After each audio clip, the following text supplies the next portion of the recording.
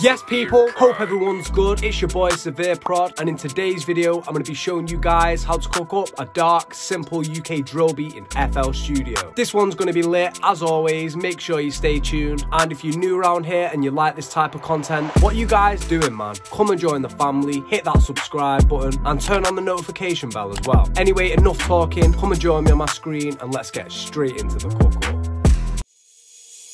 Damn, Seveer, that's crazy. Welcome to the video. Like say, today we're going for a dark, simple UK drill beat. I'm going to be giving you guys some real nice tips and tricks, especially when it comes to the drums. But let's waste no time, we're going to jump straight into this one. You know the vibe, I've cut up three melodies off camera. What we're going to do, I'm going to run through these melodies one by one and I'll show you what we're working with. For the first melody, I actually jumped into Pandora and I went over to this pad space preset. For the effects, I've got an EQ taking out some lows and highs, dipping a tiny bit of low mids. I've got this vintage Valhalla reverb with the mix turn down to around 22%. And I've also got this Effectrix, which plays a stutter note halfway through the bar. For this beat, we're working in 142 BPM, and I'm over in F minor. Fairly basic pattern, but this is what we started off with.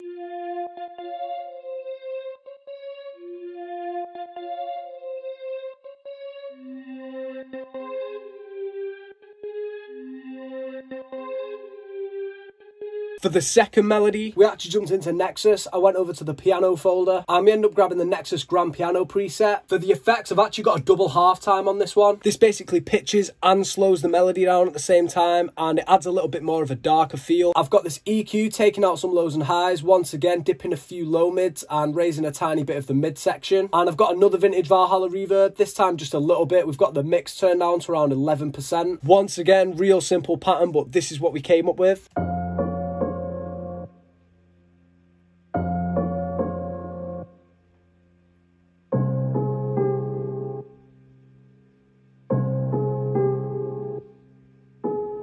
And for the final melody, we actually jumped into Expand and I went over and grabbed this synthetic recorder preset. For the effects, I've got another EQ taking out some lows and highs, this time raising quite a few mids. I've got a vintage Valhalla reverb with the mix turned down to around 20%. And I've got an Effectrix which plays a reverse note this time halfway through the bar. Like I say, everything's nice and simple, but this is what we came up with for that one.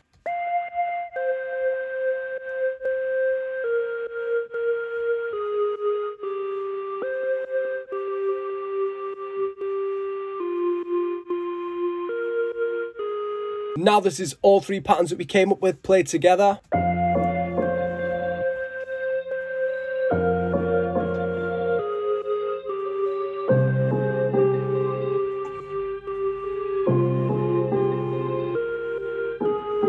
Sounding nice, it's sounding real dark, but it's real simple at the same time. What we're going to do now, I'm just going to waste no time, we're going to start adding in some drums. So first off, I'm going to go in and grab a counter snare. You know the vibe, we're going straight into the Viper MIDI kit as well. I think I'm just going to go and speed this one up a little bit.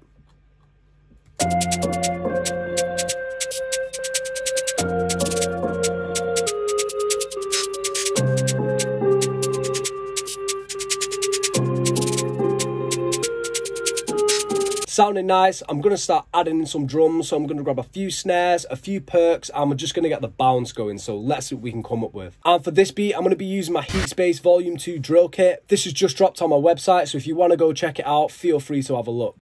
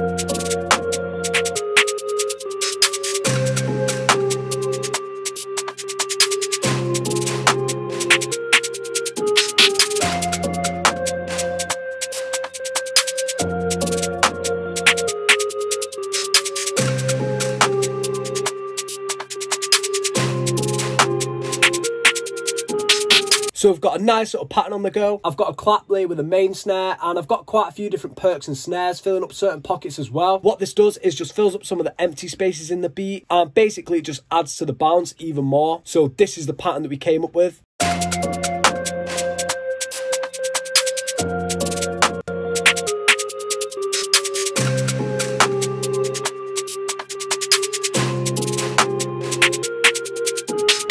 Oh, that is sounding nasty. What we're going to do now, I'm just going to waste no time once again. We're going to get straight into the 808. Yeah, baby.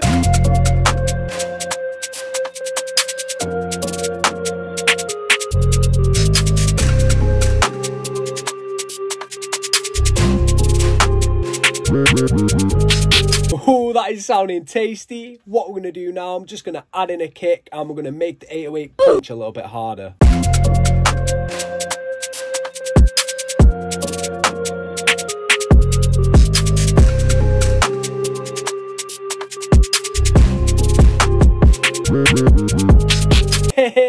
Sounding lit. What we're going to do now, I'm just going to right click the pattern, split by channel, and we're going to go ahead. I'm going to rearrange this into a full beat. So we've got a nice little bit of structure on the go. I've added in a few different effects out my kit. And what this does is just lets a listener know that there's something new about to come in at the end of the bar. We've also got these little beat cutouts here and there as well. This just adds to the tension of the beat and basically it just stops the track sounding so repetitive as it goes on. And finally I've added in my tag in there too. And I think that pretty much tops it off for this one. So I think all that's left to do now is just have a quick listen.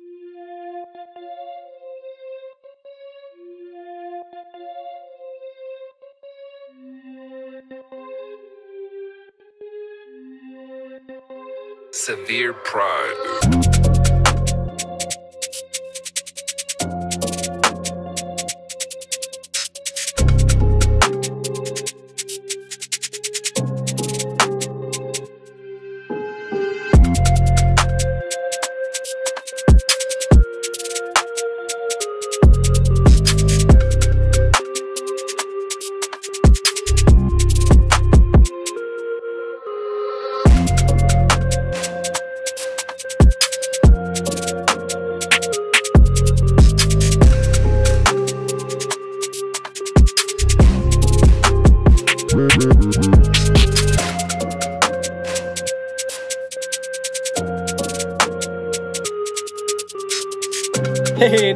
Nice down.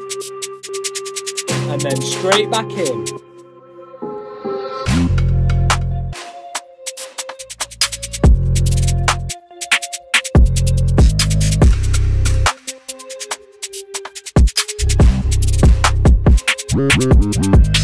Hey, this one is sounding too sick. I'm liking the sound of this one. Okay, guys, that's it from me. I hope you guys enjoyed the video and you're feeling the beat as well. I'm gonna go ahead, finish off mixing and mastering this beat now. But if you haven't already, make sure you follow my Instagram at Seveer Prod to keep updated with all the upcoming videos and giveaways that have coming out soon. Anyway, hope you guys enjoyed this one. Make sure you leave a like, subscribe, and I'll catch you in the next one.